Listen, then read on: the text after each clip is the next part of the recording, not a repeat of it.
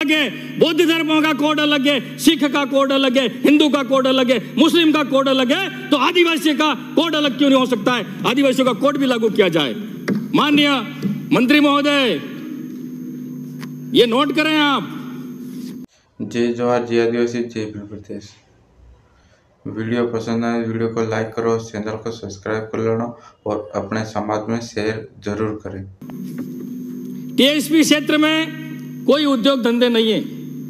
आप भी कपासन से आते हैं, माननीय सभापति महोदय।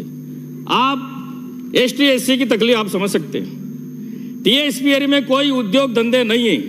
खाली नरेगा पर ही निर्भर है। नहीं तो उनको प्लान होना पड़ता है अहमदाबाद के लिए। तो मैं सरकार से निवेदन करना चाहूँगा, मांग करना चाहूँगा कि नरेगा में, टीएसपी क्षेत्र में 200 दिन किए जाए। उनकी न्यूनतम मजदूरी है, कुशल और अकुशल। मजदूर, उनकी मजदूरी बढ़ाई जाए। अगर आप वास्तविक में जनजाति के हितैषी हो, आपकी सरकार हो तो। हमने तो और हमारी पूर्ववर्ती सरकार ने 125 दिन किए थे, लेकिन आपने 25 दिन और कम कर दिए। ये है। अभी 100 दिन है। नहीं किए। मस्टॉल नहीं निकल रहे हैं, एमआर नहीं निकल रहे हैं।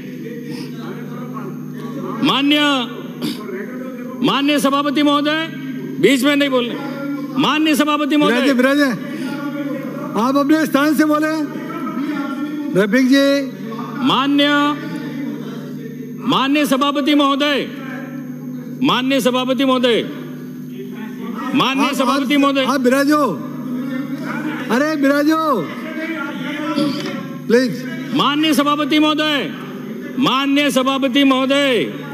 टीएसपी एरिया में जितने भी खाने हैं, भले नाथद्वारा में कर दो माइंस रासमन में माइंस चल रही है, दरीबा माइंस, जावर माता, जावर माइंस, वहाँ भी माइंस चल रही है। कोई खदाने मार्बल की चल रही है, लेकिन जनजाति क्षेत्र में वहाँ के जो स्थानीय लोग हैं, उनको रोज़गार दिया जाए। अब बाहर से आ रहे हैं, बाहर बाहर के, बाहर राज्य के मजदूर आ रहे हैं और वहाँ मजदूरी कर रहे हैं। और जहाँ क्षेत्र के जो लोग हैं, वो उदयपुर आ रहे हैं, बांसवाड़ा जा रहे हैं, अहमदाबाद जा रहे हैं। तो मेरा यही निवेदन है, जल हमारा, जंगल हमारी और ज़मीन हमारी, उसके बाद भी खाली नाम मात्र के और बाहर से उनको रोज़गार दे रहे और हमारे वाले बाहर जा रहे हैं। तो मान्य मंत्री महोदय, आपसे निवेदन करना चाहूँगा कि स्थानीय लोगों को रोज़गार दो, स्थानीय लोगों को रोज़गार दो। उसके बाद सड़क की बात करूँगा। आज भी टीएसपी क्षेत्र में जोली में डाल के हॉस्पिटल ले जाते हैं। कहीं सड़क नहीं है, पुल नहीं है, जोली में आपको पता है, खाट पे सुला के ले जाते हैं। ऐसी जगह है आज भी। कोई गया नहीं है। तो मंत्री मंत्री महोदय जी, आपसे निवेदन करना चाहूँगा कि ये सड़क आप जल्दी से जल्दी बनाए। मैं मांग करूँगा, पुंद्रावाड़ा सीमा से खराड़ी फला होते हुए दरुड़ा, मणिलाल हुरजी खराड़ी के घर तक डामर सड़क, बाबू हुरमा गमेती के घर से बोला फला कलाल घाटा, नवीन डाम, डामर सड़क निर्माण, पावर हाउस सतीरामपुर से जाहेला फला मरता बदा के घर के पीछे, गुमानपुरा मेन रोड तक नवीन डामर सड़क निर्माण बंजारिया फला जाकोल से गड़ा मालजी तक डामर सड़क खेहड़ा फला टपलारा स्कूल से, कुएड़ा महादेव मंदिर, शमशान घाट तक डामर सड़क बिजुड़ा फला बामणिया वाले पुलिये से चोकली होता हुआ वागदरी, मोहन भगोरा के घर तक, डामर सड़क, माकेड़ा पुलिया से पुंद्रावाड़ा स्कूल तक सड़क निर्माण और वडली के पास ग्राम पंचायत खेरवाड़ा में पुल निर्माण। ये मंत्री जी आपसे मेरी सड़क की मांग है और बहुत ही आवश्यकता है। बिजली बिजली की आज तो ऐसी स्थिति हो गई है कि बिलों में करंट आने लग गया सभापति महोदय। अब घरों में तो बिजली आ नहीं रही है।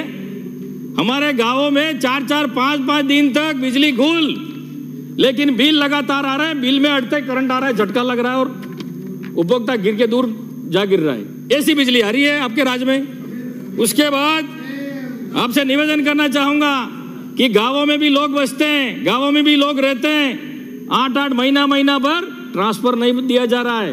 लोग रोज चक्कर काट रहे हैं, बिजली विभाग के रोज चक्कर काट रहे हैं। तो माननीय सभापति महोदय, आपसे निवेदन करना चाहूँगा कि गाँवों में भी बिजली समय पर दे और पूरी देवे। उसके